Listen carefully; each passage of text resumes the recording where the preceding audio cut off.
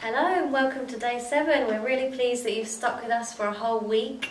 Today we're going to be talking about the fact that we are a new creation. And the first sentence of this chapter says, When you became a Christian, you were born again. Andy, what does it mean by born again? I know, it's such a weird phrase, isn't it? Born again. I mean, in America, you've got to be born again to become a president, haven't you? Wow. And yet you think, hmm. Um, so, yeah, so the, the story starts with uh, a priest called Nicodemus going to see Jesus late at night, and Jesus says to him, You must be born again. And the guy's like, What? Got to go back in my mum's womb. That's, that's just like weird. Uh, so what Jesus is really getting at is that that when we become Christians, the very second that we come to Christ, we are. We're brand new. We're a new creation. It's as if we are born again. So that's like the first thing is that that it's a complete fresh new start. You're a baby. You're a new baby. You're born again. Yeah. The slate is wiped clean. All that stuff that we mucked up, it's all gone. It's How new. amazing New start. that? It's fantastic.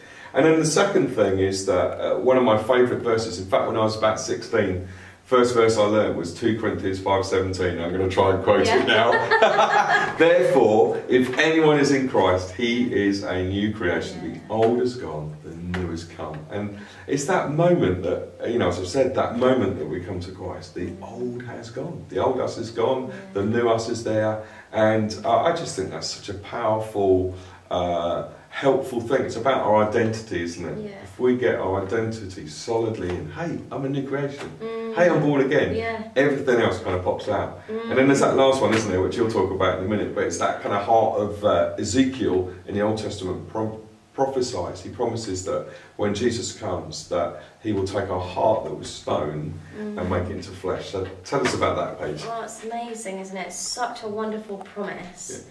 for us that we are completely new, and it is actually no work of our own, is it? Um, in the book here, it says that your spirit has been made alive in Christ. So, to in order to have been made alive, we have to have been dead, don't Yeah. we?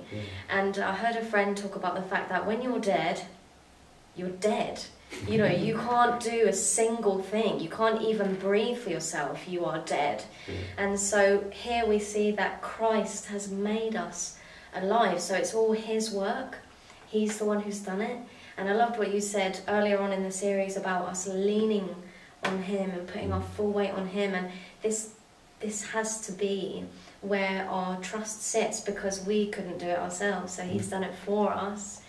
And the grace that He has on us Mm. for that is just wonderful. And I suppose it doesn't always feel like that, does it? No. It doesn't always No. feel like I'm a new person. And in the book again, it says that you wake up the next day and you still do the same things, and like your spirit is made new, but your body needs to catch up. And and so much of our culture, this Western culture, is Mm. about feeling, and we put trust in feeling Mm. rather than fact. So I feel this way, so I'm going to do that. Or "Oh, now today I feel like I'm going this way. And the Bible really strongly warns against that, and it says stick close to the truth, and um, the truth will set you free. Absolutely, Yeah. absolutely. I think, uh, I mean, that is the problem, is that, that, that depending on what we've had to eat the night before, how much sleep we had, is how we feel as Christians. And that's just ridiculous Yeah. because the truth is that these wonderful things are true, aren't they? We are born again, we are new creations. We have a, a heart of flesh, not a heart of stone. And there's an old illustration of a train where um, Christianity really is, there's the facts about Jesus. Mm. He he really did come down. He really did die for us, and he really did rise again. And we put our faith in that. So the facts are the kind of engine of the train. The, Yeah. fact, uh, the faith that we have is, is behind that, and then our feelings they kind of come into line with that. And so you know we've really got to make sure that we're not living our Christian life and how do, well we're doing based on our feelings. It's on the on the truth of Scripture Yeah, and and the facts and the faith that we put in that. Yeah, Yeah, I think the other thing that we uh, need to realise is that that our spirit is already brand new. It's it's sorted. Mm. Our minds, as we said, you know, like you get saved, don't you? And you think, oh, it's amazing. Next day you wake up and you- and and you're thinking the same bad thoughts. Our minds need changing, Mm. don't they? And then our bodies need to obey that. So it all starts in here. yeah. You are a new creation. You are born again. You've got a heart of flesh. Let that truth sink in and believe it, and then out of that, everything good will flow.